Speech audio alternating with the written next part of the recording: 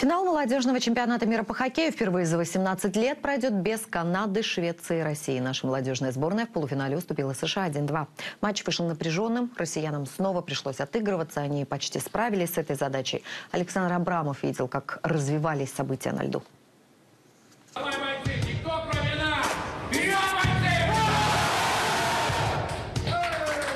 Россия США в полуфинале молодежного чемпионата мира. После вылета сборной Канады именно эту игру называли скрытым финалом турнира. По многим показателям игровым и статистическим Россия и США – это две лучшие сборные турнира в Ванкувере. Матчи российской и американской молодежки в плей-офф чемпионатов мира – это уже традиция. Шестой год подряд эти сборные играют в матчах на вылет. В таких играх очень важно, кто забьет первый гол. Поэтому отсчета, отсчета.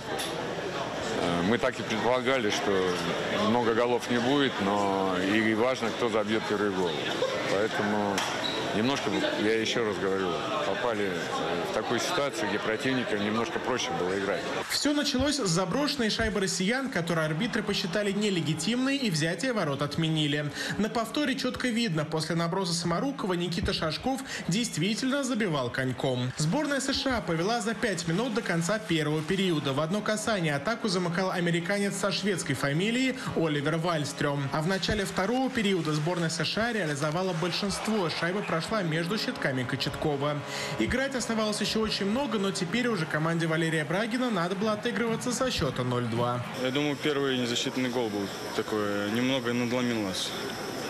Совсем немного, ну, вроде бы это было незаметно, но где-то глубоко внутри каждого игрока сидело это то, что, блин, жалко не забили. Сборную России вернул в игру Григорий Денисенко, лучший на этом турнире в нашей сборной по системе гол плюс пас.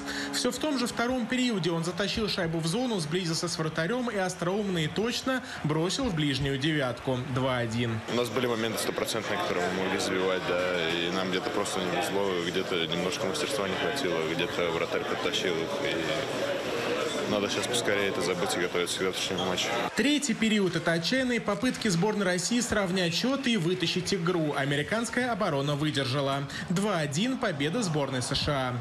Слезы капитана российской молодежки Клима Костина на скамейке и многих других наших сборников – это лучшая иллюстрация. Все было возможно, от того такое разочарование. Это очень симпатичная команда, можно сказать, одна из лучших э, сборных России за последние годы. И главный вывод по молодежному чемпионату мира всегда был, есть и будет, это какое подкрепление получит взрослая сборная России в ближайшие годы. И я вижу по тем ребятам, которые выступают сейчас в Ванкувере, у нас очень хорошее поколение идет. Сборная США вышла в финал молодежного чемпионата мира. Команда Валерия Брагина в ночь на воскресенье теперь сыграет за бронзовые медали. Александр Абрамов и Умар Тускаев. Вести.